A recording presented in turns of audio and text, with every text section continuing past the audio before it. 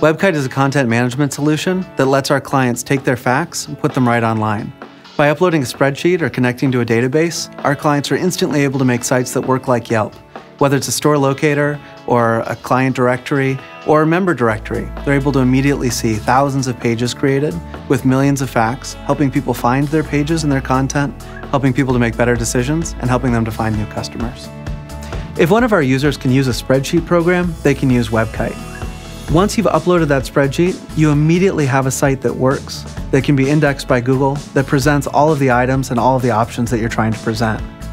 It's when people take that next step and start putting in their understanding of what's important, creating custom lists, that their wisdom about the knowledge that they're presenting starts being presented by WebKite as well. So, starting about 10 years ago, it became clear that these sorts of decision making sites were the ways that people wanted to make decisions online. And yet, there hasn't been, until WebKite, a real effort to build a standardized platform. Because of that, most people who have sites like this struggle with old or custom interfaces, where what they're trying to do is they're trying to fight with code that was written just for them to be able to put together a list. With WebKite, it's a simple point and click interface. With the WebKite platform, without knowing how to code, you can tweak the algorithm that creates that list.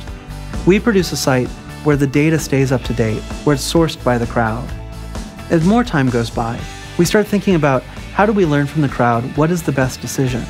By doing that, we make WebKite more than just a way for people to save a couple million bucks getting their site started.